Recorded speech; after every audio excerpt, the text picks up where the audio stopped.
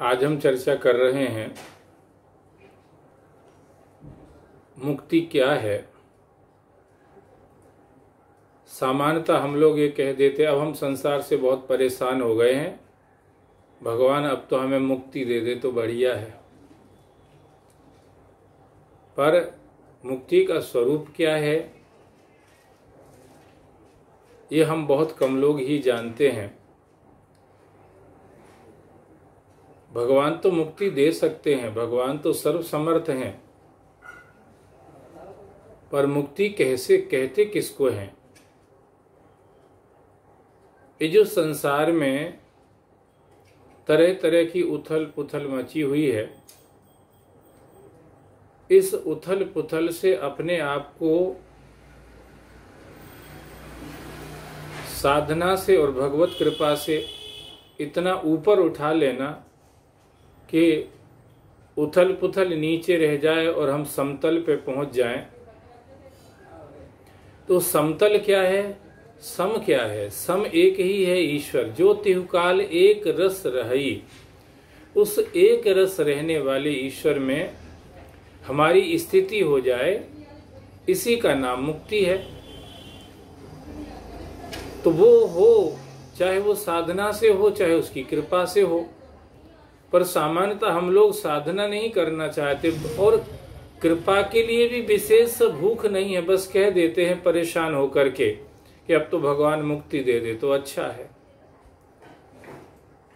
तो भगवान मुक्ति दे सकते हैं, पर हमें उसके लिए भगवान से जुड़ना पड़ता है। सत्संग के माध्यम से भगवान को जानना पड़ता है। और जब धीरे धीरे भगवान तो हाथ फैला करके खड़े हुए हैं जब हमारी स्थिति भगवान में होने लगती है तो हमें मुक्ति का एहसास होने लगता है। पर शास्त्रों को देखें तो ये समझ में आता है कि मुक्ति भी कोई एक प्रकार की नहीं होती है। पाँच प्रकार की मुक्तियों का वर्णन शास्त्रों में आता है। सालोक के मुक्ति, सामीप्य मुक्ति, सारूप्य मुक्ति, सार्ष्टी मुक्ति और सायुज्य मुक्ति। पाँच प्रकार की मुक्तियाँ नाम से ही समझ में आता है। सालोक मन भगवान के लोक में रहने को मिल जाए। सामीप्य मन भगवान के समीप रहने को मिल जाए। सारूप मन भगवान के स्वरूप की प्राप्ति हो जाए।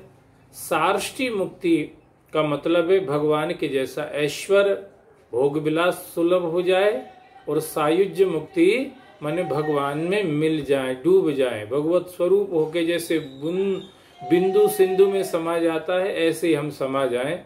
ऐसे पाँच तरह की मुक्तियाँ हैं।